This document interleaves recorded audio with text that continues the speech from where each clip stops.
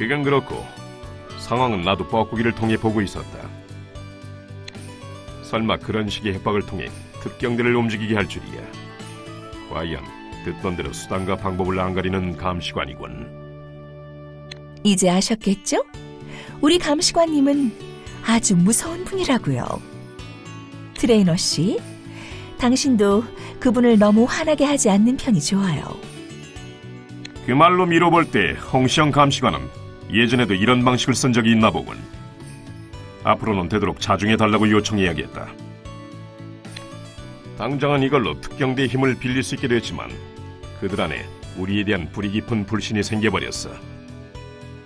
장기적으로 보면 꽤 위험 부담이 큰 방식이야. 이번 일이 차후에 어떻게 작용할지 모르겠군. 아무튼 현재 그 지역의 현장 책임자는 감시관 홍시영이다. 계속해서 그녀의 지시에 따라 잔해 수집을 보조하도록. 이대로 잊혀진 지하철에 나가서 차원종을 처치하고 돌아와라. 적들에게 우리의 어금니 자국을 남기고 와라.